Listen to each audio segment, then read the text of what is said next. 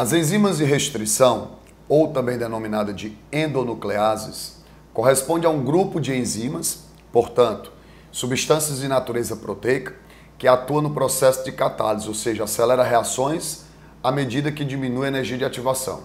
No entanto, o que, que torna as enzimas de restrição tão especiais? Elas são enzimas de corte, elas são enzimas de clivagem.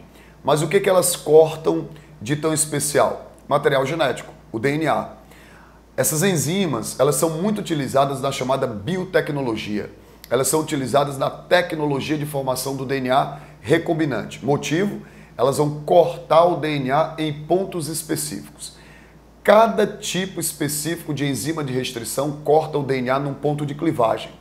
Esses pontos de clivagem, onde elas fazem esse corte, são chamados exatamente de sequências palíndromas, de modo que a ciência utiliza essas enzimas de restrição para cortar genes específicos, genes de interesse da biotecnologia, para que eles possam ser transferidos para o genoma de outros organismos. É assim que se produz um organismo transgênico, pois o organismo transgênico é aquele que recebe, é aquele que tem inserido em seu genoma um gene de uma outra espécie.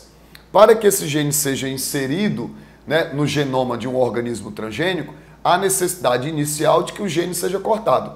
E quem é que vai fazer esse corte? As endonucleases. Essas endonucleases elas foram obtidas isoladas de bactérias. Então, no meio natural das bactérias, qual o papel que essas enzimas têm? Elas exatamente protegem a bactéria de possíveis infecções virais. Então, um tema importante seria exatamente as enzimas de restrição, enzima de cortes específicos.